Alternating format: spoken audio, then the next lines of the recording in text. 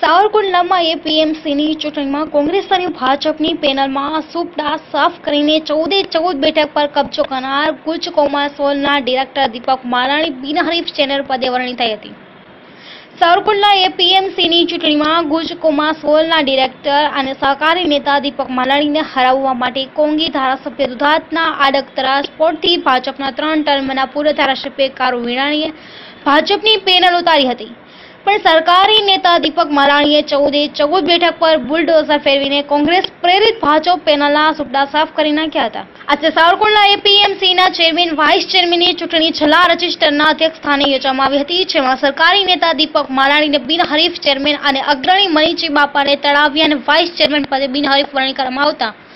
ખેડૂતોને સહકારી ક્ષેત્રમાં આગેવાનોએ ફુલાર પહેરાવીને નવનિયુક્ત ચેરમેન, વાઇસ ચેરમેનને અભિનંદન પાઠવ્યા હતા.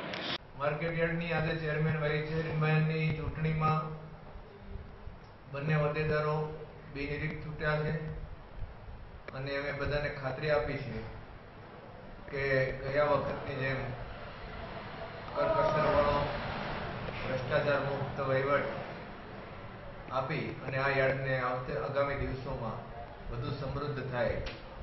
સરખામણીએ એવા અમારા સહિયારા પ્રયત્ન રહેશે અને તમામને વેપારી હોય, ખેડૂત હોય, મજૂર હોય, એમને સાંભળવા, એમના પ્રશ્નો હલ કરવા માટે આખું બોર્ડ કાળજી લેશે અને દરેકને પોતાના અધિકારો જતન થાય, વેપારીને વેપારીના, મજૂરને મજૂરના, ખેડૂતને ખેડૂતોના, એની અમે બિલકુલ પ્રમાણિકતાપૂર્વક કાળજી રાખવું ચૂંટણી પછી ત્યારના હોદ્દેદારો નિમણૂક કરવા માટેની સભા છે, જેમાં પ્રમુખ દીપકભાઈ મારાણી અને ઉપપ્રમુખ તરીકે મંજીભાઈ તળારિયા કે હું ચૂંટાયેલા છીએ. ગત પણ અમે સાથે હતા. ગત અંદર પણ અમારા જે સાથીદારો જે હતા બધા મિત્રો, એમને પણ સારો વહીવટ આપવા માટે અમે પૂરેપૂરા પ્રયત્ન કરેલા છે. અને આવતા પાંચ વર્ષની અંદર ખેડૂતોને, કર્મચારીઓને વેપારી ભાઈઓને કે મજૂરોને કોઈને પણ નુકસાન ન થાય એવા અમારા નિર્ણયો પારદર્શક રહેશે.